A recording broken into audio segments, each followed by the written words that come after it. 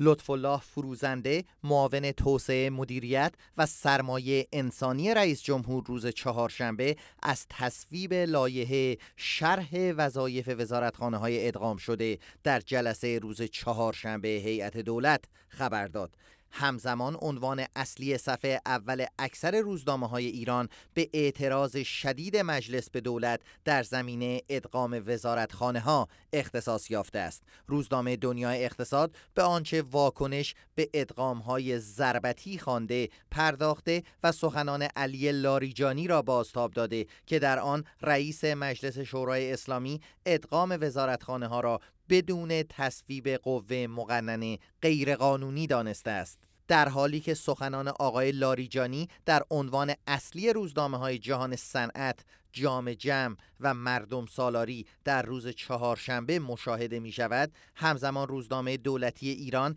در یکی از عنوانهای صفحه اول خود از استقبال بخش خصوصی از ادغام وزارتخانه ها خبر داد. محمد نهاوندیان رئیس اتاق بازرگانی ایران روز سهشنبه در گفتگو با خبرگزاری مهر در زمینه ادغام وزارت صنایع و وزارت بازرگانی گفت شرایط کنونی به وضوح مشخص می کند که کشور هنوز در مورد سیاست تجاری و صنعتی و ارتباط بین این دو به یک تصویر روشن نرسیده است که کنار هم قرار گرفتن این دو تشکیلات عریض و طویل چه فایده ای داشته باشد. حسین هاشمی رئیس کمیسیون صنایع و معادن مجلس شورای اسلامی نیز صبح روز چهارشنبه در گفتگو با خبرنگار خانه ملت ادغام وزارت صنایع را در وزارت بازرگانی نشان دهنده بی‌اعتنایی دولت به تولید داخلی خواند و اظهار داشت در همه جای دنیا وزارت بازرگانی را در صنایع ادغام می کنند نه برعکس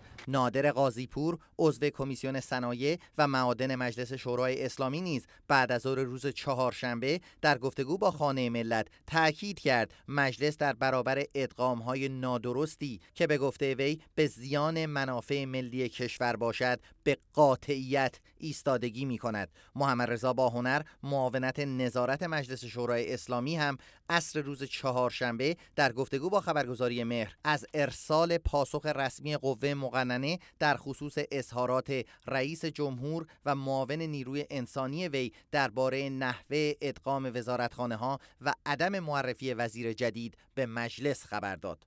وفا آذربهاری صدای آمریکا.